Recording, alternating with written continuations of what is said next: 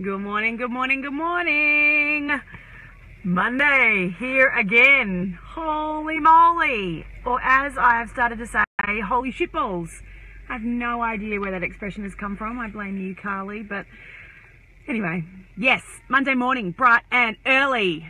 Got in and out of school a little quicker this morning, so I've got a jam packed day today, playing catch up from being out of the office last week. Crazy hair, look like a lion or something. Anyway, uh, so I thought this morning I would be downloading on my ridiculously bananas four days at Tony Robbins last week.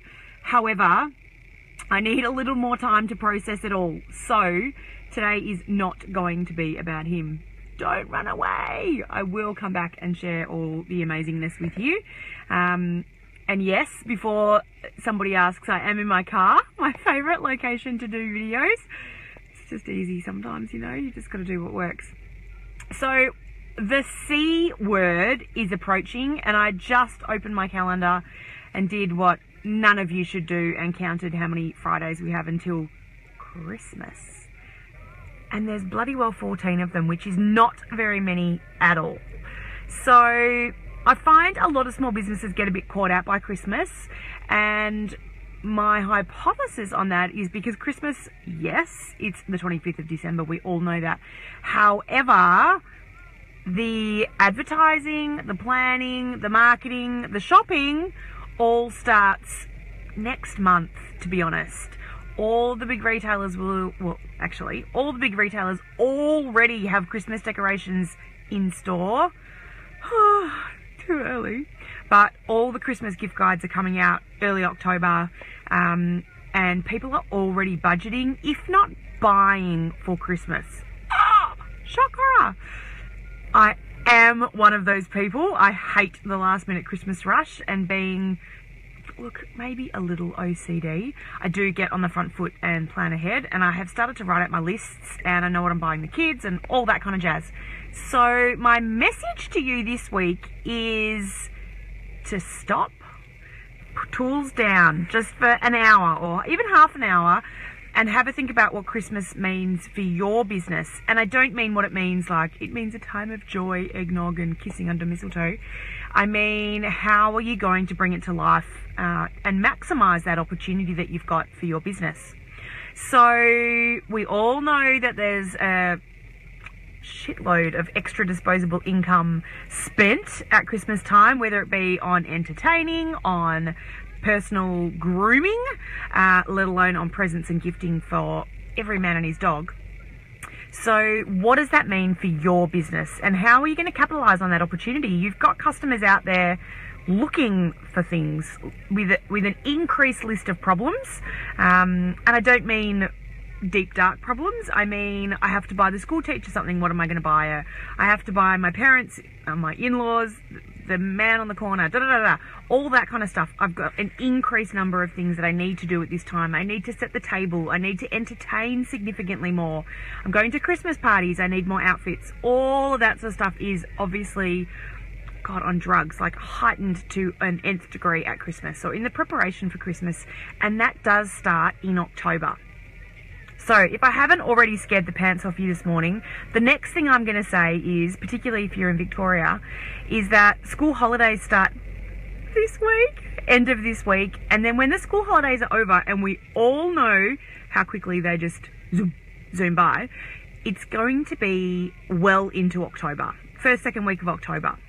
And that is boom, Christmas well and truly upon us. So, I don't want to freak you out. I don't want to scare you and say, hurry up, you're running out of time. But you kinda are.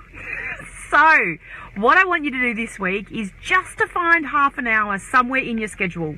Um, it can be when the kids are there or when the kids aren't there. It can be a family activity, whatever it's going to take to get you thinking about what you need to be doing at Christmas or in preparation for Christmas to maximize that opportunity for your business. That might be updating your lead magnet to be more Christmassy. It might be tailoring your social media to be more Christmassy.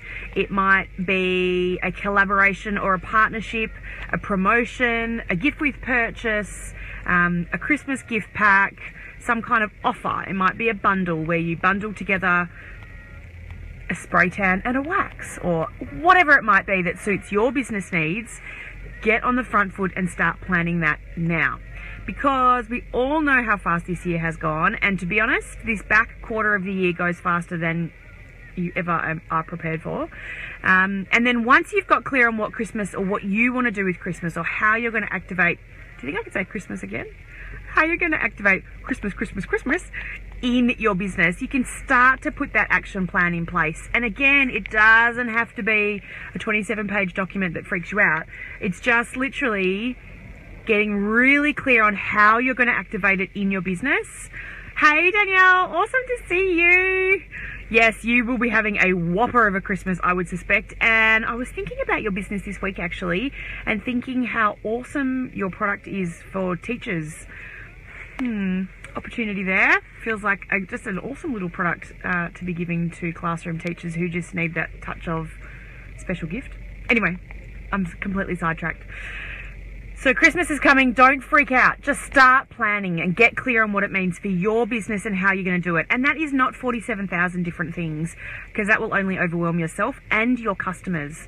Choose three or five things and they might be things that you're going to do in store if you're a retail outlet you might do you know special gift wrapping or a special music or download the um, playlist or you know christmas drinks or vip parties or whatever it might be wow i feel like an ideas machine this morning on fire But um, don't worry about a list of 75,000 things. Just focus on three or five things that are going to turn your customers on and get people through the door or onto your website or driving that traffic to those products.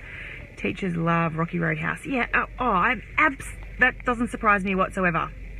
And they make great Secret Santa gifts. Yes, Yes. So if you're looking for a Christmas gift or a Secret Santa gift, go and check out Danielle at the Rocky Roadhouse. The most amazing Rocky Road you have ever tried. Uber cute packaging and damn delicious. So, boom. I've just solved one of your problems for you. All of you, for Danielle, and also for everybody else who's looking for Christmas gifts. Boom. I should do this more often. So, half an hour this week. It's literally all it takes, half an hour. What are the three big things that you're going to do to drive excitement and bring some festivity to your business in the form of an offer, an additional service, theming in your social media or on your website, whatever it might be, what does it mean for your business and how can you get on that front foot so that when we come back from school holidays and it's middle of October, uh, you're not going, oh yeah, I probably should start thinking about Christmas because Christmas will be here. People would already be shopping and already be looking to solve those additional Christmas product problems that we all have. Getting their body ready, getting their wardrobe ready, entertaining presents, Santa sacks, Secret Santa gifts, the works. Uh, it will be well and truly up and running by then. So I really would love to see you getting on the front foot. Comment below if you've got any other ideas or you need any help. I would love to shout out and help you. Um, just I feel like I've rattled off a thousand things that you could do this morning, so hopefully some of them are helpful. But if you've got no ideas and you're completely stuck on how you're going to bring Christmas to life in your business, comment below because the women who watch these videos are freaking awesome, uh, and you know they'll have ideas for you as well. So shout out, ask for help, put that little hand up. Don't be ashamed. We all have brain farts, as my son calls them, or brain fades at the best of times, and we're all here to help. So get on the front foot, find that half an hour, and start mapping it out. Plan ahead because the big C word, it's going to be here before we know it. I uh, am going on holidays at the end of the week. Ah! I can't even begin to tell you how excited I am. It's been a bananas weekend and this week's pretty chaotic. But uh, shout out if you need my help. I'd love to hear from you. And always with holidays comes a self reflection, planning ahead, new ideas. So I'm a really big believer of different environments stimulating different parts of your brain. And I have well and truly experienced that over the last weekend, being in Sydney with the great man Tony Robbins. And being on holidays for a couple of weeks is absolutely going to be. Um, I'm taking a notepad and I think I might take my laptop, not to do extensive amount of works, but work, but just to start planning ahead and getting on the front foot with some of what some of bringing those um, plans to life for next year. So shout out here to help. Would love to hear how you're going in your business. Um, and yeah, just ask a question. Like somebody here will be able to answer it. We'll be able to give you some ideas. Um, I will be able to help as well. So don't be afraid. Have an awesome week. Happy Monday. Yay. New start, fresh beginnings, all that jazz.